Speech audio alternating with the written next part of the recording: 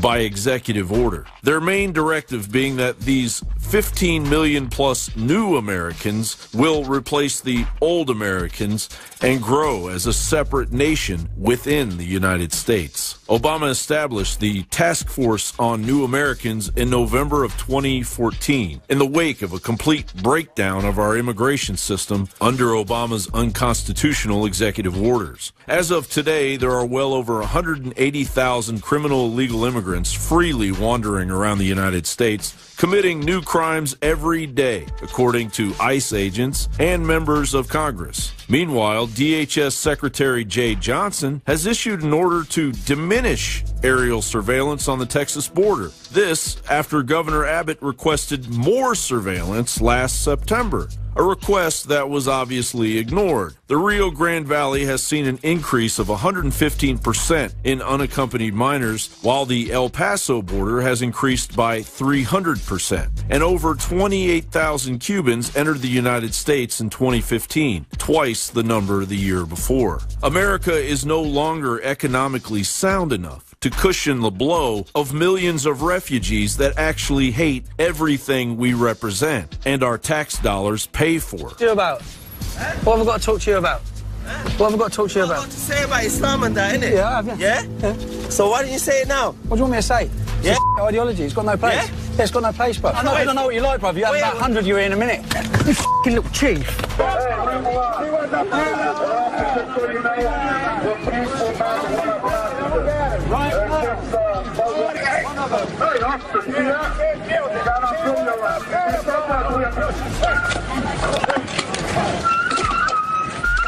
The middle class is aggressively shrinking. We've lost millions of jobs due to international trade deals. Cities are going bankrupt, and the national debt is at a record 19 trillion. Meanwhile, as 31 governors oppose the acceptance of Syrian refugees into their states, the remaining balance of our nation's officials are declaring their cities as sanctuaries at an alarming rate. Has the Paris massacre or the San Bernardino jihad been forgotten already? Jon Bowne for Infowars.com. Well, coming up, we're going to tell you about some new smart toys that are totally hackable. Didn't see that one coming. And also, we're going to re-air a Alex Jones prediction from about 10 years ago and show you how it ties into what's happening present day. Stick around.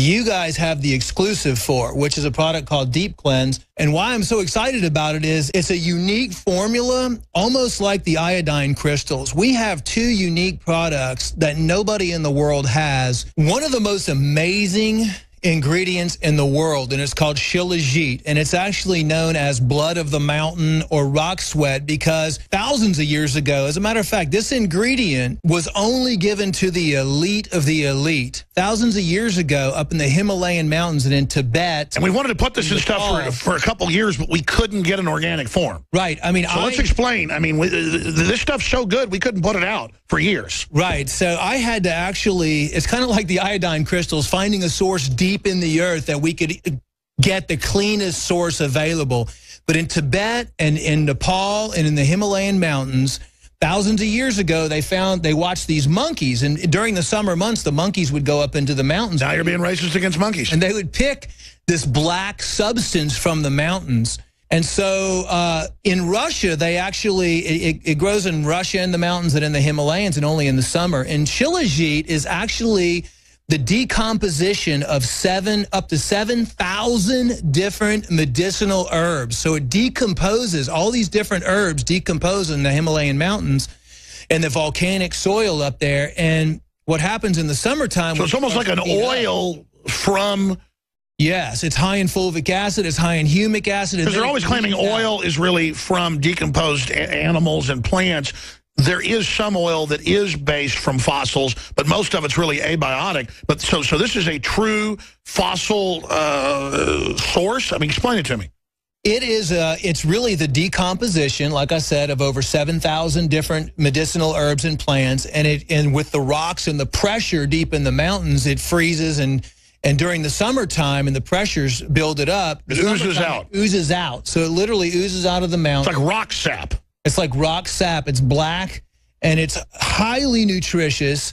Uh, even in the 1980s, when the Olympic athletes in Russia were accused of being on steroids, they found out that they were actually been given Shilajit because it, it works as an anabolic as well and it builds muscles. It's a big dose in there. The second big main ingredient in there is a volcanic zeolite concentrate. And this, what this formula is designed to do, the Shilajit and the zeolites have a real strong negative charge. All the metals and chemicals and PCBs and VOCs have positive charges. So these go in, they grab it, and then they safely eliminate it through the body so you can become healthy. I mean, the, this is an amazing formula. I wish I actually had it, but because this was an exclusive InfoWars Life product, you're the only one in the world that has this formula now. And uh, you know, there is going to be a limited supply available when you sell out because you can only harvest this once a year. How do people take it? How is it recommended that this be done? Just a daily daily dose? Yeah, daily dose. Uh, the instructions are on the label. You know, of course, I, I kind of modify it for each individual. It depends on what your lifestyle is. I mean, the, honestly, the best thing to do is for you to avoid all these chemicals and toxins in your environment and try to identify them and start slowly reducing them. But personally, I, am going to probably take it every day, every other day, and I'll probably go with about a dropper full to maybe two dropper fulls. Uh, and I and I I don't expose myself to any chemicals. Infowarslife.com. Please also support our local AM and FM affiliates, support their local sponsors or become a sponsor, and spread the word. Because these aren't just great products. This is how we fund this independent operation. We're not taxpayer funded like MSNBC or NPR, and neither is your local station. So support them, folks. This is a war. The top three appear to be uh, Trump, Cruz, and Rubio, with uh, uh, Rand Paul moving up quite a bit this last week. It looks like the fact that Donald Trump skipped this last debate really seemed to help Rand Paul. First, it moved him up considerably in the uh, polls when he was left out of that first debate because he utilized that time very wisely to uh, take uh, questions on social media and to talk about issues in a thoughtful way uh, that would not be allowed in a debate, as sad as that is. The debates really don't right. cover uh, much in terms of issues. They don't allow.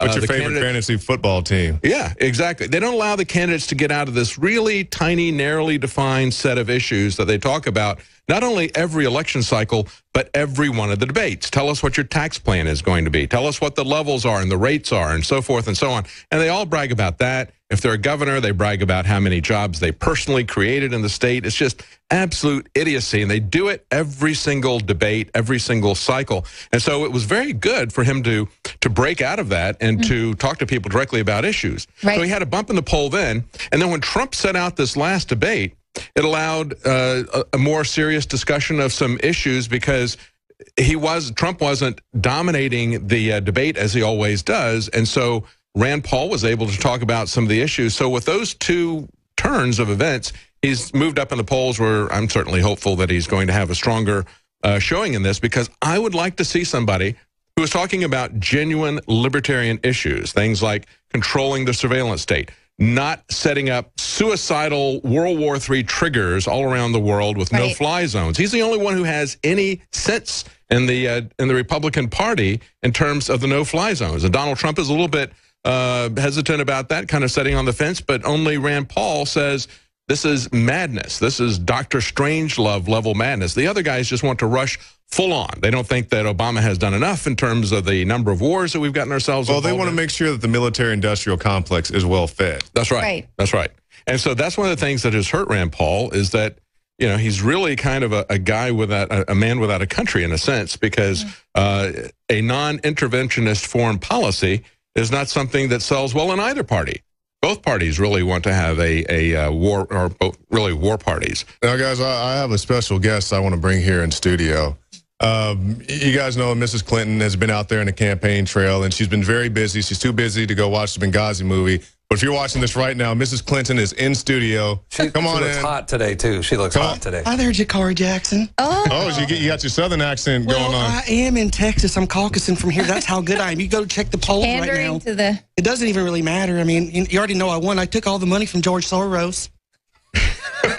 Well, Mrs. Mrs. Clinton, we've I think you forgot uh, to shave. yeah, uh, yeah, yeah. I, I, Well, it's all the it's all that Monsanto they keep giving me over there, and I didn't know it was going to have that effect. I mean, this is really a wig. I'm bald, but you know the the beard is all coming out.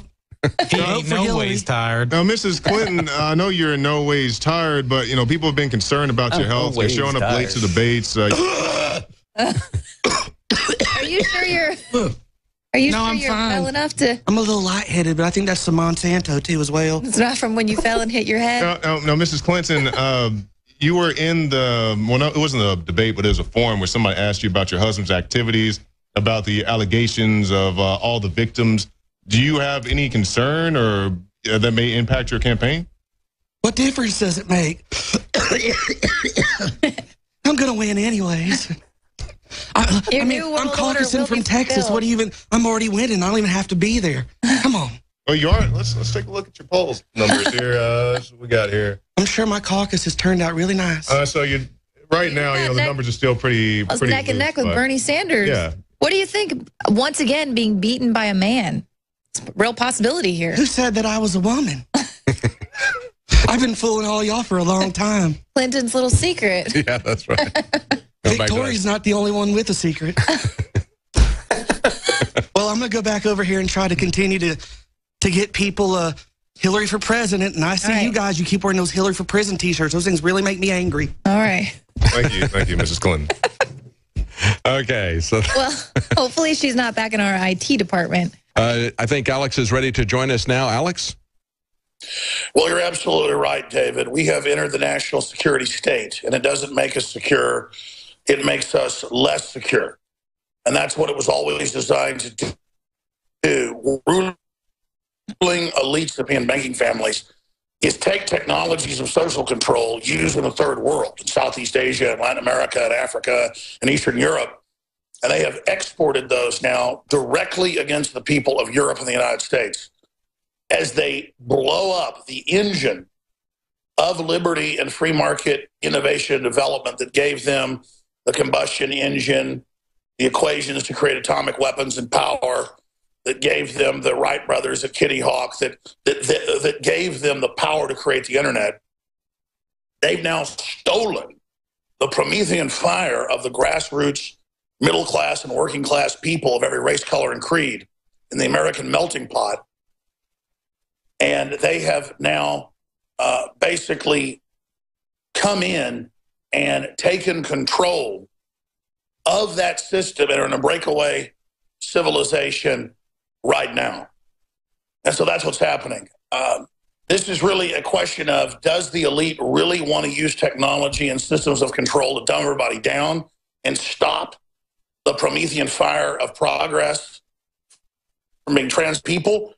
Or or be truly enlightened folks and believe in humanity, and that if you're so enlightened, you shouldn't be afraid of other people being enlightened in uh, as well. Well, one of her defenses is to say, well, what the State Department has done is overclassified this stuff. And it's like, you know what, Hillary, you don't get to make that determination. Okay. That's like, you know, if I was to get pulled over by the police for speeding, I would say, you know what, these speed limits are just too low. Let me go. You know? Right. and of course, I'm not going to get away with that, but she's going to get away with that because her last name is Clinton. Right. And, Well, and, she can just continue to lie. And to say that she was never, I mean, she was never assigned a state.gov email address. So everybody knew it's not that she was given the option and then, oh, I just decided to use this one because it was easier. No, this was a deliberate uh, means with which to bypass the federal records management there in the government. This was premeditated. Well, if these are overclassified, then what she needs to do is just call up her former employees at the State Department and give them the same instructions that she used to give them via email and say, well, I want you to send this information to me. So if it says classified on the top, just cover that up White it and out. copy it over and send it on the fax machine anyway, you Wipe know, it or like with a cloth. yeah, cut and paste this so that you can get this to me. I want you to send this to me. I don't care if it's Putting secure or not. Just get that top secret classification off the top. And that's essentially what she's telling the State Department now. Right, and that's the kind of president that she's going to be. She, Yeah. what difference does it make? Well, I just put cut, lives at cut risk. all the corners and for your personal convenience because she said that she it's just easy to have it on her phone. Mhm. Not that you couldn't access it Even from though she phone had three way. phones, an iPad, a Hey, laptop. didn't she have like a, a book that she put out had a picture of her using her phone or a BlackBerry? Yeah, Uh, that was her- on the back of her bus, actually, when she was oh. there